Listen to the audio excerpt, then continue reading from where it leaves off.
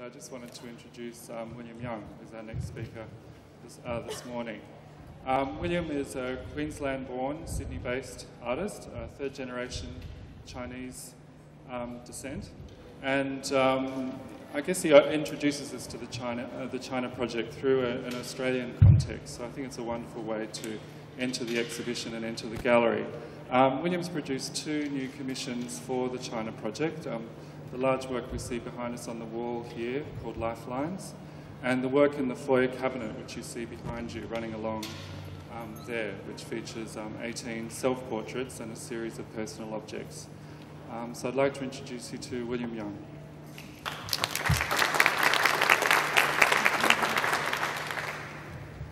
Thank you, Russell. Um, yes, I, I, was thrilled, first of all, to accept the commission from the Queensland Art Gallery. Um, it was a difficult commission in that this wall is really big, and I hadn't really done anything probably that size. And the cabinet is kind of problematic in that it's a cabinet and um, it, I don't think it was designed for showing work. So I think that someone told me that the architects put it in there as a, a kind of um, display for product, as a possible display for product. So it's always been a difficult space to actually put something in. And uh, I, I think that probably if you're going to use this space, then you have to sort of design a design especially for this space. And the other thing about the cabinet was when Russell first told me about it, he said that, oh, we want some objects for the cabinet. And I thought, oh, that'll be a bit of a problem.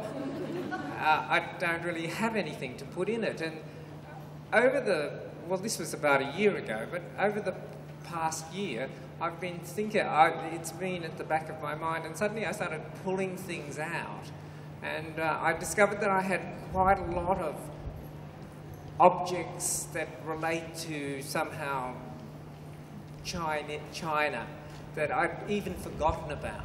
And so it was quite funny. In fact, I just remembered one a few days ago. Oh, I should have put that in. But it, it could only fit certain things, and it can't have anything too big because it's quite narrow.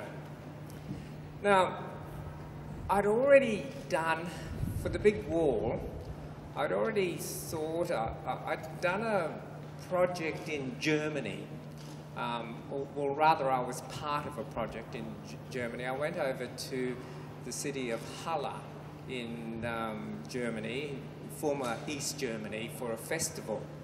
And they asked me if I'd like to participate with the local people and do a projection piece. It, it wasn't all, all my work, it, I was part of it, uh, on existing buildings.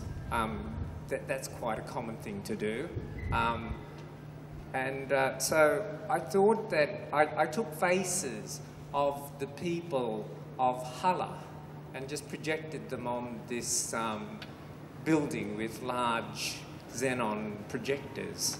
Um, so I have a great confidence in the human face.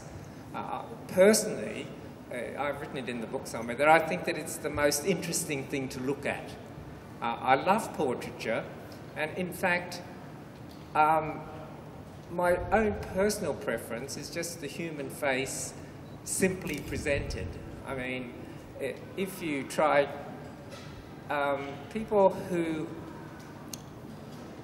I, I, won't go down that line, uh, uh, but I'll just say that my own taste is that I just prefer the, the human face uh, simply presented, and uh, I can look at a good portrait for hours. I mean, I can just be intrigued. It's just one of those things that, that uh, I just find fascinating.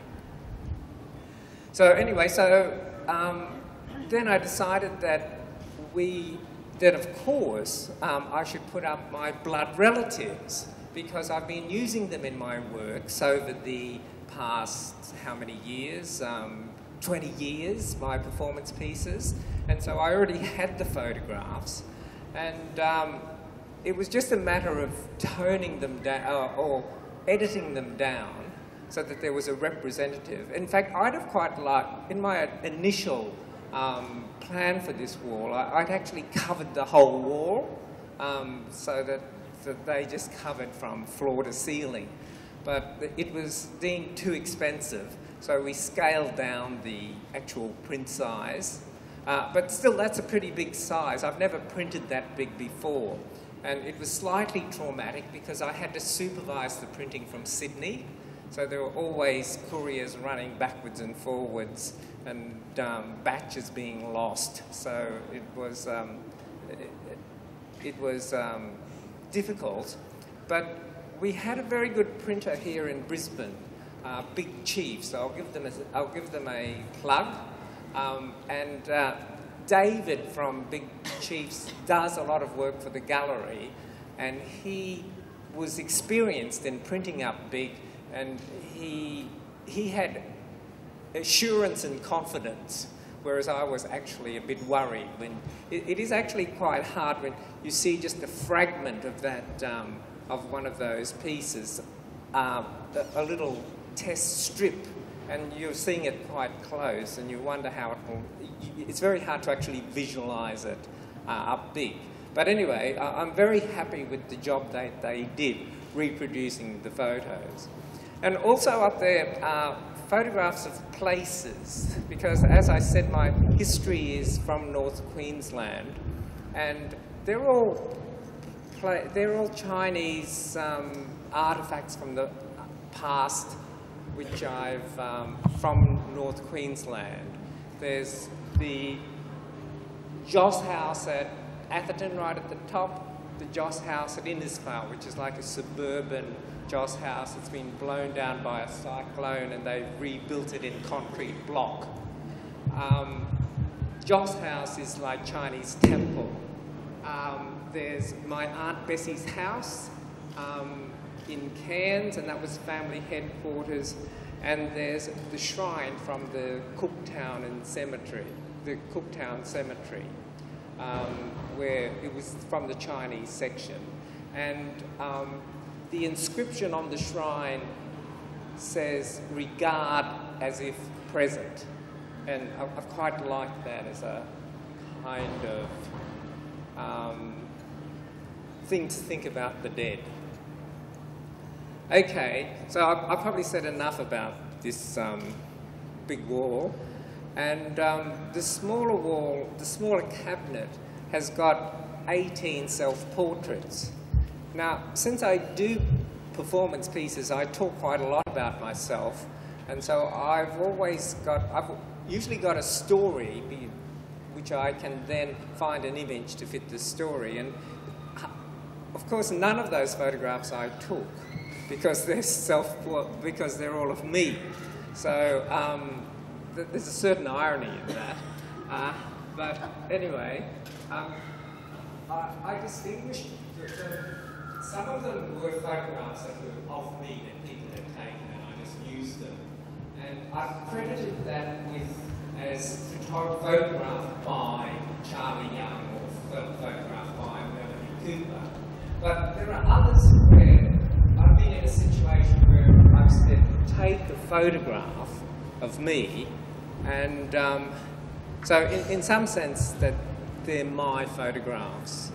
Uh, and I've said assisted by Ivo Claridge or assisted by Alan Young or something like that. So they're the images themselves, and they all tell a story.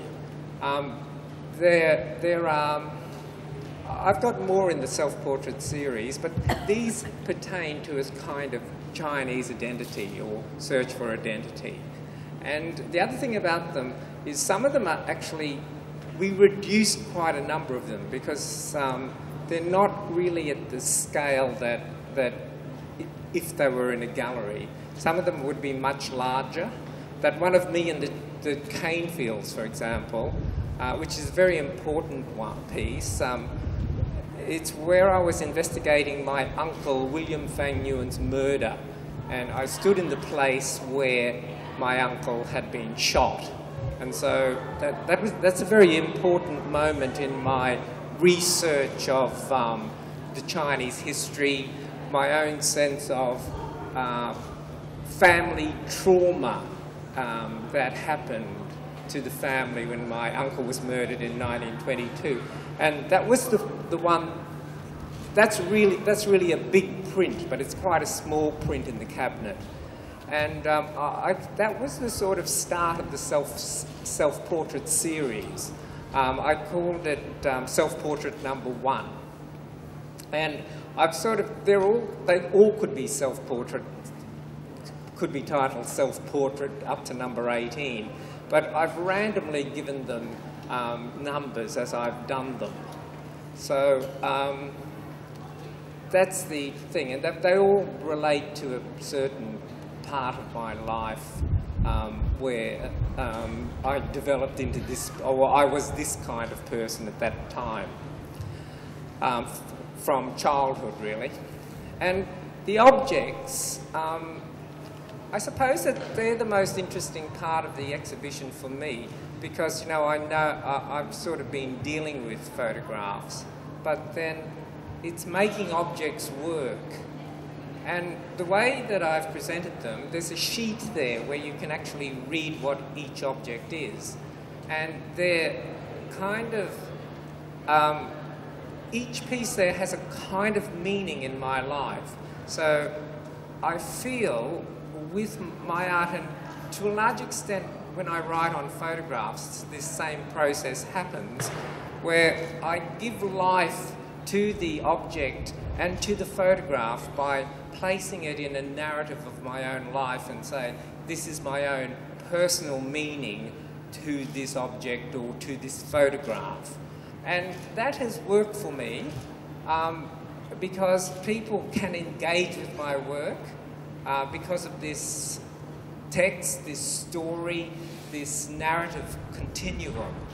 And so um, lots of people tell me that they like uh, looking at my work and I've seen people actually engaging with that cabinet, um, which um, that, they've spent quite a lot of time there reading the stories, and that sort of vindicates what I'd hoped that people could engage with it. And the kind of objects, not many of them are precious objects um, or what you might even expect to see in a gallery. But for example, there's a plate from, that from my mother. You know, we used to eat whatever from it every day when we used to live in Dimbulah. And when my mother died, there are only two things that I took, really. Um, there, were, there, were, there, there were two plates and two paintings or works. They were the only things that I took. Um, my brother said to me, is there anything you want? And I said, yes, I'll have this plate and this plate and these two paintings. There's, there's nothing else that I wanted. And so that plate is there and um, it probably even takes on a different meaning when it's in a gallery and you can look at it because it's just quite an old plate, but it's a kitchen plate. It doesn't have any value, but it's, it's worn and it's got a few cracks in it. And um, it, it kind of tells a story. It's got character. And I've got other plates um, that I've collected later. But um, that, that's the kind of thing that uh, um, I, am happy to show in, the objects. Now, I'll point out a few objects which I think are quite interesting objects. One of them is um, a set of eggs. Um, it's, um, it's like the third, under the third um, um, per, painting there. Now, I've got a friend in Sydney called Aaron Sito, and uh, he sort of discovered, he, he didn't discover it, he researched this process, and he was able to do fat photographic prints on salted duck eggs that he bought in Chinatown. And so, so their actual, I, we did a swap actually. Um, I gave him a print of my no Chinese flag, and he um, did this set of duck eggs, uh, seven duck eggs, which has got my family on it. It's my paternal grandfather, my maternal grandmother, my mother, my father, my sister, my brother, and I. So um, I, am just um, very happy with that work because of the eggs, and um, it, it's uh, it, it, it is about family. And he's given it the title. This is his title the 1,000 other things dash bloodlings. So that's one piece, that, that's like a work of art. Um, another piece is um, a fragment of tile from the Temple of Heaven in China. Um, I don't know if you know the Temple of Heaven, but it's a magnificent structure in Beijing. And uh, it's one of my favourite places in, in um, Beijing or in China, and it, it represents a kind of spiritual dimension to China, um, where here the emperor would come each year, he'd perform rituals where he would ritually converse with the gods, and he would um, spend two nights there um, doing all these rituals. Now, in just lying by the side of the gutter at the Temple of Heaven, there was a little piece of broken tile. It's got distinctive blue tiles. And so I picked that up and I just brought it home. And uh, it's like a fragment, it's like the classic souvenir where you have something that reminds you of something else. And so that's my little piece of heaven, I write in my, my thing. But it does have that significance, like that represents spiritual China, uh, a cultural um, spirituality, that little fragment of tile. And um, there's also a piece that I bought in Sydney, which is um, a little um, piece of miniature calligraphy. It's on a piece of ivory, which is about the size of my um, little finger nail. So it's very small, and there's over 100 characters written on this little piece of ivory.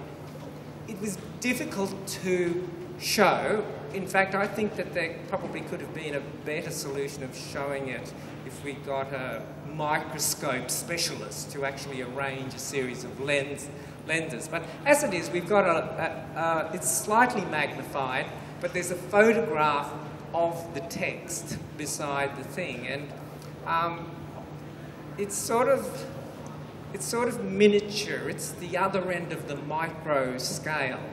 And um, it's a Buddhist text. It's the Heart Sutra. And um, that's, um, that's like the, the text. It's the brand of Buddhism that traveled from India and went to um, China and Japan. And the Heart Sutra is about emptiness, and it, the text is like the philosophy of finding enlightenment through uh, emptiness. And so that's all on that little tiny um, miniaturized tablet. And that's, that's my favorite um, piece. And, but you have to look at it, and I have to tell people about it to, to draw their attention to it. But also, I'm actually thrilled that to show that at this exhibition because that piece languished on my table and um, probably only about four people had seen it. And so now it has a chance to be seen by a wider audience. So um, it's now 5 to 12, um, and um, I could just ramble on, but maybe pe people would like to ask some questions. Yes. Yes. It used to be. Oh, okay. Um, someone just asked me about the house in Cairns, wanting to know what street it was. Um, it was in Lake Street, Cairns. It's been demolished now. It belonged to my Aunt Bessie. My Aunt Bessie was like the matriarch of the family. Um, she was the um, widow of my murdered uncle, William Fang Yuan, and she moved from Innisfail to Cairns. she bought this house, and that house was always family headquarters for our family. And I can remember we lived in Dimbulah. We'd come down to Dimbulah. It'd take half a day to drive there. It takes about an hour and a half nowadays. And we'd, um, I just remember vividly that house. I could describe the living room. And um, it, it's probably, it, it, seemed very large to me, but I think that places when you were, were a child seem larger than they actually were in your memory. And so that house is sort of symbolic of family headquarters. Yes? I wonder how the language has survived in your family, Chinese language. Uh, a question here, how has the Chinese language survived in your family? The language was lost, um, partly because my father, his clan were the Hakka, and he spoke Hakka, and my mother's clan were the Siya, that's the most common clan that came to Australia and in fact the world in the migration in the late, um, in the 19th century. Siyapa all over the world. Um, and so my mother spoke Cantonese, so English was their common language and that was what they, we spoke at home. But my mother could have taught us Cantonese as it was usually left up to her to do this sort of thing but she never did because she thought that being Chinese was a complete liability and that really it would be better if we tried to be Australian. And that's how I was brought up. But I can't really go on blaming my mother all my life for not teaching me Chinese. I've tried to learn it twice, but it's a difficult language because it's tonal. And um, um, I, I, just, uh, I have trouble. I have trouble with languages in general, and so I studied it for a while. But I went over to China, and when I practiced it, nobody could understand a word I said, and I found that so disheartening that I just gave up.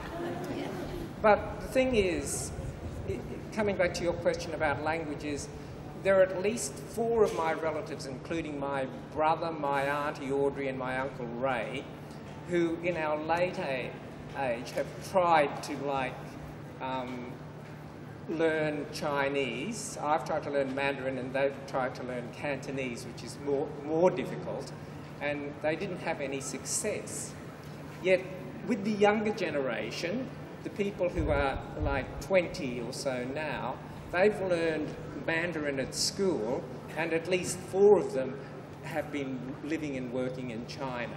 So that's the generational thing about it. But you see, when I grew up in the 50s, um, we weren't encouraged to talk um, one's own traditional language. Um, the general tone of things was speak English, be Australian. So, so that sort of thing was frowned about on at, at that time. And also, there were edicts put out to mothers saying, don't talk to your children in your um, own language because it'll confuse them. That was the kind of official um, edict. Yes, hello.